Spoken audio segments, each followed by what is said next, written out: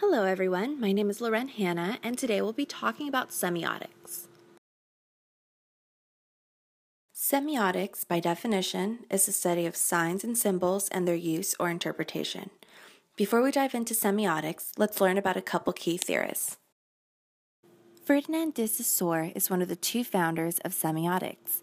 Saussure was a Swiss linguist who's responsible for creating the sign signifier signified concept, which we will get into shortly. The second founder of semiotics is Charles Saunders Peirce, an American philosopher who is responsible for creating the we only think in signs concept, where anything is considered a sign as long as someone interprets it as having meaning other than itself. Semiotics deals with concrete examples, such as physical signs, and more abstract concepts, such as denotation and connotation. We'll begin this quick lesson with signs.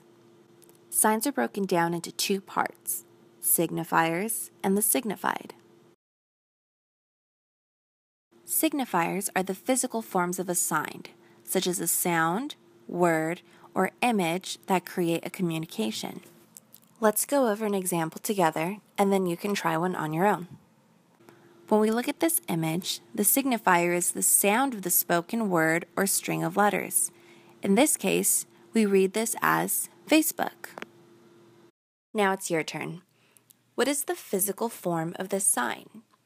What is the sound, word, or image creating communication?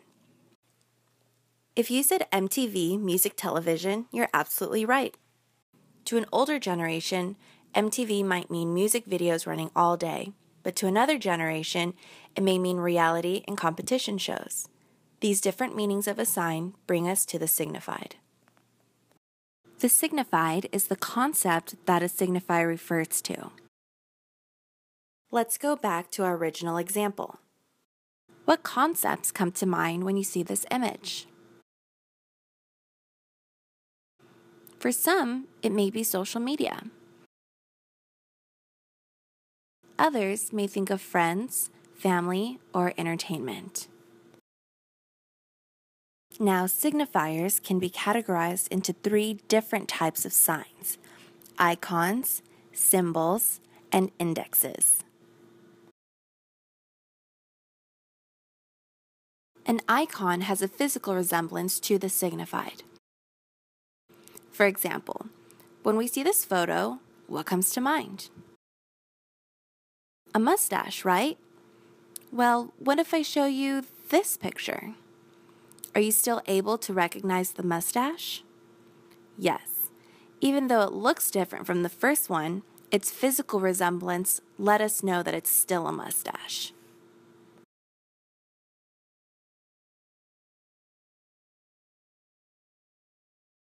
A symbol is the opposite of an icon, so it does not resemble the signifier that is being represented. Symbols are learned culturally, which explains why cultures can develop different and unique traits. We learn what symbols mean over time. A common example of a symbol is the male and female icons representing the presence of toilet facilities. Let's imagine we had never seen humans before and were told that this is what a woman and a man look like. We probably wouldn't infer then that this woman and man were in fact of the same species. Lastly, we have indexes. An index describes the physical connection between a signifier and the signified. This means that the signifier cannot exist without the physical presence of the signified. Let's look at an example of this concept. Smoke cannot exist without fire. Within this example, the signifier is smoke, which leads to the signified being fire. If we saw a big cloud of black smoke in the distance, the concept that typically comes to mind is that it's coming from a fire. Now that we understand the basics of signs, let's talk about denotation and connotation. Denotation is the literal meaning of a word. Think about it in dictionary terms.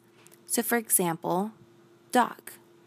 A dog is defined as a domesticated carnivorous mammal that typically has a long snout, an acute sense of smell, and a barking, howling, or whining voice. Connotation represents the various social overtones, cultural implications, or emotional meanings associated with a sign. For example, if I show a group of people this photo of a dog, to one person it may invoke a happy memory of a much loved pet, while another person may be remembering being chased by a dog and possibly feeling scared. Now that we've gone over the key terms of semiotics, let's analyze a few images. Here we have a sign representing a well-known company. Take a moment to identify the signifier. If you said Forever 21, you're correct. Remember, the signifier is the form the sign or the word takes. What's the signified? The signified will vary depending on who you are and where you are. Did you say fashion? Clothes? Either of these are correct. How can we identify the denotation? If you said a dictionary definition, you are right. Forever 21 is an American chain of fast fashion retailers with its headquarters in Los Angeles. Lastly, what is the connotation? To some, it may be cute, fashionable clothes. To others, it may mean inexpensive and cheaply made clothes. Great job! Let's test your knowledge of semiotics a little more. Next, I'll be showing you an image, and you'll identify whether it's an icon, symbol, or index. Take a moment and analyze this photo. Are the footprints in the snow an icon, symbol, or index? If you said index, you're correct. The footprints cannot exist without a person stepping through the snow. What is signified in this photo? If you said someone walking in snow, you're correct again. Lastly, what would be the signifier? If you said the footprints, you're absolutely right. Great work. Let's look at another image. Is this image a representation of an icon, symbol, or index. If you said symbol, you're correct. This simple figure does not resemble the signifier that is being represented. In this case, a home, which in reality can look like this, this, or even this. You're doing great. Let's try a couple more. Are we looking at an icon, symbol, or index. If you said icon, you're correct. This icon has a physical resemblance to the signified. Remember the mustache example? Similarly, its physical resemblance to the icon let us know it's indeed a bicycle. Amazing work. Let's try one more. Icon, symbol, or index. If you said symbol, you're right again. The American flag represents the United States of America, but it is not how our country actually looks. Now that we've gone over various aspects of signs, let's close this lesson with test examples of denotation and connotation. Let's analyze this photo. If I state words like peace, tranquility, gentleness, harmony, is this the denotation or connotation of the symbol? It is the connotation of the symbol. Remember that connotation represents the various social overtones, cultural implications, or emotional meanings associated with a sign. Let's look at this photo. If I state that this is the round fruit of a tree, which typically has thin red or green skin and crisp flesh, am I giving the denotation or connotation of the symbol? It is the denotation or dictionary definition of the word apple. The apple is sitting on books atop a desk with a blackboard in the back, which can convey a connotation of education. Great job! Hopefully, you understand a little more about semiotics and all its basics.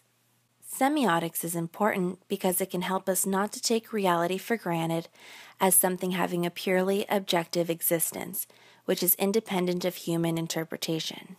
It teaches us that reality is a system of signs. Studying semiotics can assist us to become more aware of reality as a construction and of the roles played by ourselves and others in constructing it. Feel free to go back and rewatch any parts you didn't get a good enough grasp on. Try and think of your own examples of signs you see around you every day. Again, my name is Loren Hanna. Thank you for watching.